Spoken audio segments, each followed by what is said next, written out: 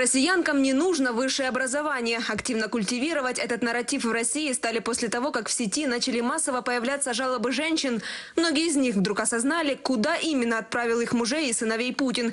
И сразу же на различных психологов, политологов и блогеров была возложена миссия в легкой, ненавязчивой форме убеждать жительниц страны остановиться максимум на образовании среднем. Нужно перестать девушек ориентировать на получение высшего образования.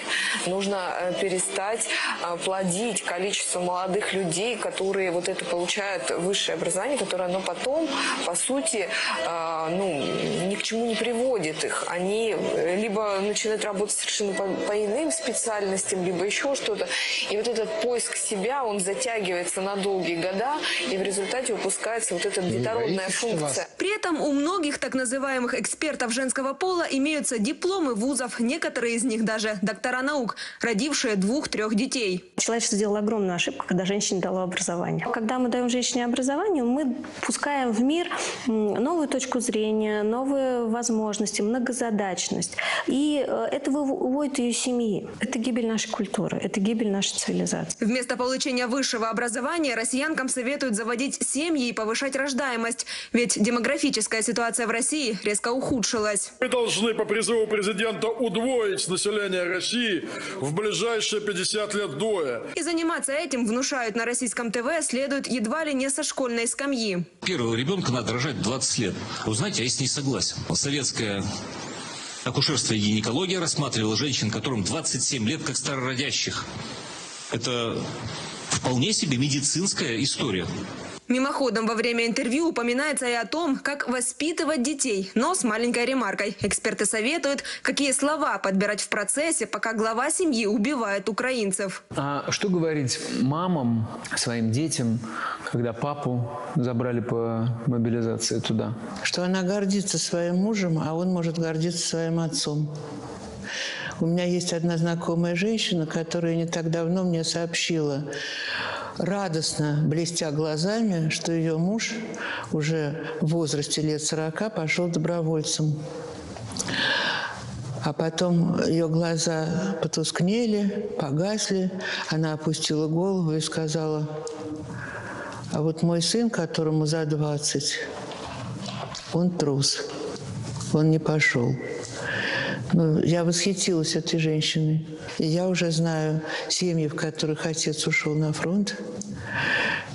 Я говорю им, что э, мамам говорю, что они должны своим детям рассказывать, какой у них прекрасный отец. Легко и непринужденно Ирина Медведева, называющая себя православным детским психологом, рассказывает о том, как детей с ранних лет готовить к тому, что они станут путинскими наемниками. К сожалению, очень часто и в школе, и дома об этом не говорят с подростками, забывая о том, что они уже не дети, а подростки, и что завтра они будут солдатами, если это мальчики. На плечи женщин российское государство возложило и обеспечение армии, чтобы недовольных граждан было меньше. Фиктивные звезды, как мантру, повторяют, что именно на женщинах и держится война, то есть им необходимо ее оплачивать. У этой войны женское лицо.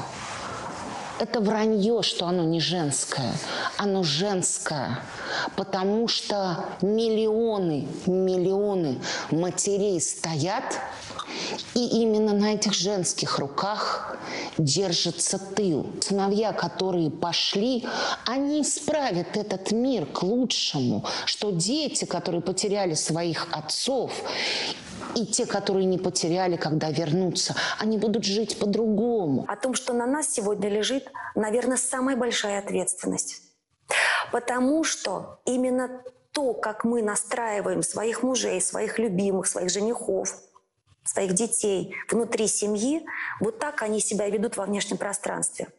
Конечно, мы говорим, что муж – это голова. А еще война держится на простом народе, любят повторять гости на различных интервью в России.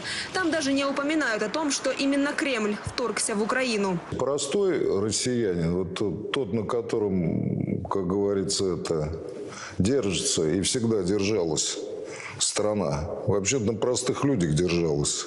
Вообще они всегда выигрывали войны, Вот тянули все. Чтобы простому народу было легче тянуть путинскую войну, в Совете Федерации РФ предложили создать Министерство счастья. Все другие проблемы уже решены. Видимо, считает Валентина Матвиенко. Немедленно закон о всеобщем счастье. Вот вы знаете, я мечтаю, даже предлагала, говорю, давайте мы создадим в России Счастья, да? То ведомство, через которое будут проходить через то ведомство, через которое будут проходить все решения, все законы на предмет того, а сделает